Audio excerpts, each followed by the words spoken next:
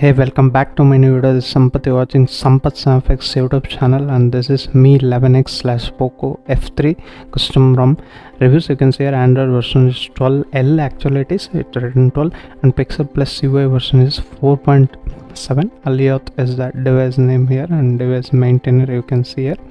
Credits to them to provide this kind of ROM. And July 5th, 2022 is the latest security patch available. That's in the device and kernel used here is 4.19.246 N0Kernel has been used here it's also july 16 latest build. And SELinux status is enforcing and build date you can see here july 16 and have been running the cpu throttling test from last 10 minutes you can see on the screen.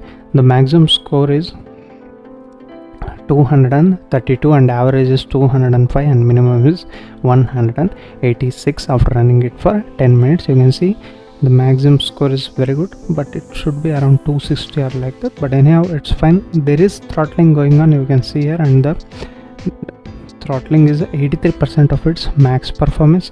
This is app results but actually i in day-to-day -day use i never faced any problems like throttling or anything like that. I did not played heavy games like bgmi or whatever. Just installed clash of clans here but the gameplay was fine. I never faced any problems. Just there are little bit bugs here. I'll explain each and everything. Stay tuned till the end of the video. And if you're first time to this channel hit that subscribe button down below guys. And also allow the bell notification by pressing the bell icon. Whenever i upload a new videos lot more videos coming on. Mi 11x stay tuned to my channel. Starting with the dialer you can see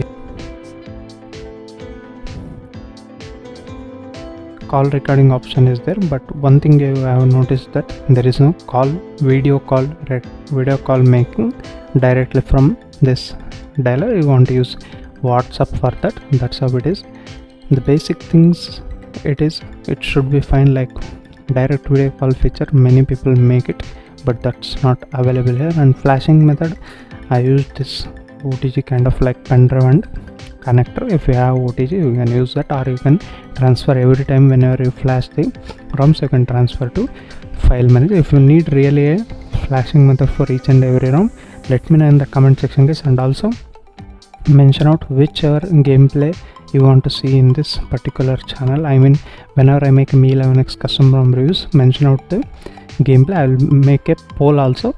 You can participate in that and choose your game. I will definitely add that gameplay in any custom roms whenever i review that. I am using it as a daily this is my primary device. Let me turn on a little bit of volume and keep it to general this how it is. And uh, benchmark results starting with geekbench. I haven't run antutu if you really want that in next video i will definitely add this. You can see here 858 and 269 for us multi and single score. And you can see here again little bit similar to that. It's not great enough or anything like that. Even if i run android also it might not come that good. But what i felt is the ui is really really smooth in my opinion. I really felt like i'm using a pixel devices.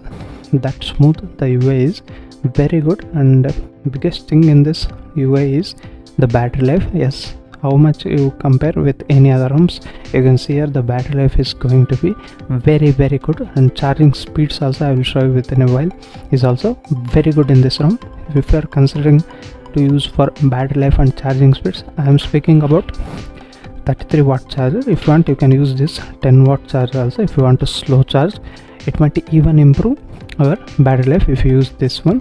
Let me know in the comment section guys who will use that. I frequently using this 10 watt charger in MIUI ROMs but to test this ROM I used 33 watt charger for many times. You can see here it topping up very quickly. You can see the battery life also. I can't show you exact screen on time because I am using it like I'm keeping charging and again discharging it continuously. You can see app usage is also a little bit less only. I will be keep on adding some of the apps here. That's not the problem. SafetyNet status will get passed. You can all the you can use all the payment applications i already made a transactions using PhonePe you can use any other payment applications like google pay whatever it is paytm etc everything is working fine. Whatsapp is also working fine i straight away switched from MIUI to this ROM one annoying thing for me is whenever i play youtube video i was getting into whatsapp with floating windows or video slide bar that i really missed in this aosp type of ROMs but anyhow you can use it like split screen option. You can use it but the convenient what i had in MIUI that's simply here missing. Benchmark result i already shown you. The app opening speeds are also really good i really don't know how it handle bgmi or any other call of duty pubg new state whatever it is the high-end games. But for a day-to-day -day task this is going to be very good ROM. There's a power button and everything you can see here. App opening and quick settings panel is also very quick you can see here. The 120 hertz refresh rate option also turned on. It's working fine. You can see settings. You get plenty of customization in pixelizer buttons. You can customize system navigation into the settings. You can adjust the pill length. I have increased to maximum. You can see here. You can see the pill which is differentiated from the actual screen. That is a really good thing. And if you want you can use 3 button 2 button traditional navigation navigation buttons and edge long swipe action. You can choose your plenty of customization available end call long press to torch wake device answer call control playback keyboard cursor control reorient and click to partial screenshot is given. Into the gestures again plenty of customization one-handed mode is working fine. You can see here three three fingers swipe to screenshot is also working fine playback control prevent ringing quickly open camera and tap to start actions also. You can enable from here. Everything is working fine. Lock screen you can see here. Plenty of customization again. In the miscellaneous you get invert 3 button navigation bar and game space is also enabled. If you want you can use that.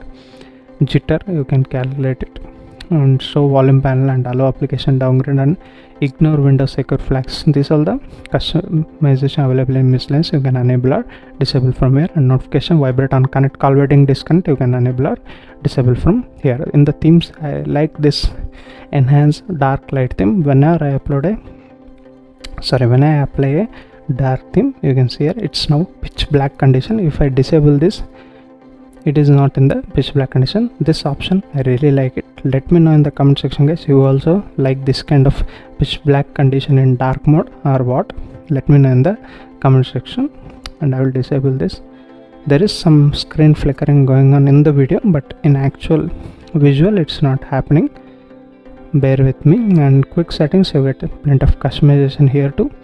Status bar. It's an pixel experience plus rom guys. You won't expect any like crDroid whatever Octavi like that customization.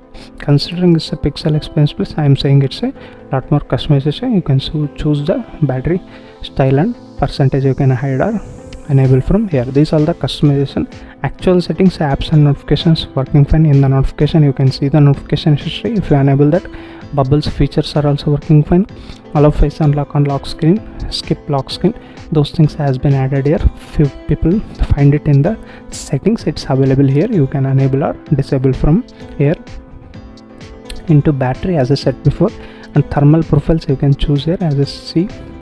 You can choose here. I kept phone to dialer and youtube to streaming and clash of clans to game flipkart and chrome to browser. It's working fine. If you want you can customize them further also. And battery temperature has been showing here. And use pixel battery status provider. You can enable or disable. And battery saver you get these kind of options. I never used this. But if you want you can use that. Already the battery life is very good in this particular room. If you want to enhance you can use this 10 watt charger and see the difference. You might get at least 10 15 minutes extra screen on time when you use this. You can see here some of the other settings like accessibility menu. It's working fine. Without using the actual buttons you can use this virtually. You can adjust the volume brightness and power button recent apps lock screen and quick settings. You can directly use that without using the actual button and actual actions. You can use that. This is a very handy feature in android 12 in the previous android 11 what is to happen is you need to swipe using this pill. It's a little bit difficult. Now they made very good. Like just turn this and use this toggle to use this. That's how it is. And switch access and timing control. There are some settings also. Let me show you. Dark theme i already shown audio adjustment. And there is no dolby atmos here. Accessibility shortcuts you can enable from here. Sound amplifier that's present. The audio output i listen lot more music and some of the ott applications also. The quality video is very good as in the MIUI but audio was not that good but still it's usable you can see here in the sound and vibration you get just clear speaker and basic things and touch vibration haptic feedback. You can enable or disable it from here. You can't adjust the strength but there are patterns you can choose from here and you can customize them according to your own settings too.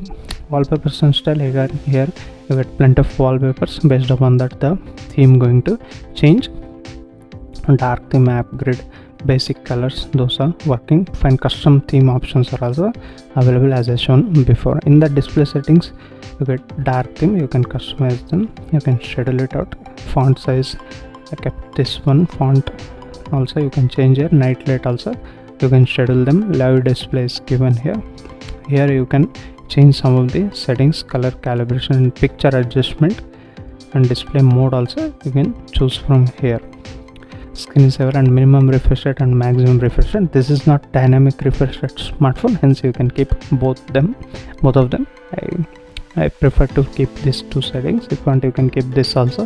125 smoother experience. Ambient display is also working fine and per app refresh rate is also working fine. Full screen apps whenever certain app is not playing in full screen you can enable from here. Colors these are the settings and there is no options like what we have in MIUI I mean I straight away came from MIUI hence I am speaking about that lot more here. This is the first ROM I am flashing in Mi 11x lot more videos are coming. And I never felt this ROM I mean to switch any other ROM from this ROM. That good this ROM is considering for daily usage. Gaming I haven't tested because I need to ask you guys whichever game you play. Based upon that I will make the videos and system settings again here nothing more here. Updater is given. I don't know whether it this is updates frequently come or not. Let me know in the comment section if you're already using this particular ROM. What is your favorite in this particular ROM? And security you got face lock and fingerprint unlock working fine. I'll show you within a while. And app lock is also again smart lock that's given. Encryption and credential rom is encrypted. And that's how it is. And i'll be adding this flashing method also if you really need for next coming ROMs. And Material You design and everything regarding Android 12 features are working fine. And I am using this greatness in Gcam here. Everything is working fine. Whenever I go to video it force closes. Because of XML or whatever it is the greatness cam the camera quality is very good. Even night sight and astrophotography everything is working fine wide angle is also working fine. Only thing is whenever you move into the video it's putting out of the app. That's how it is. There is a bug. If you want you can use any other gcam ports what about anx camera? Let me know in the comment section guys if you have any. Uh, i mean if you're already using that in any custom roms let me know in the comment section. I will definitely add that. And this recorder option the android 12 style is also given in this particular rom that's all in this video. I'll show you the fingerprint unlock once. As you can see it's very quick to unlock your smartphone and even the face unlock is also let me show you. It's also very very quick in my opinion. It's as fast as MIUI stock ROM these are the recent apps. It's smooth enough. The UI is smooth. I felt like this is my daily driver. That good. The UI is and internet speeds everything is working fine. Even with mobile data connection i took a lot more calls also. The earpiece quality is also fine enough and carrier aggregation support is also available. Let me show you the charging animation here.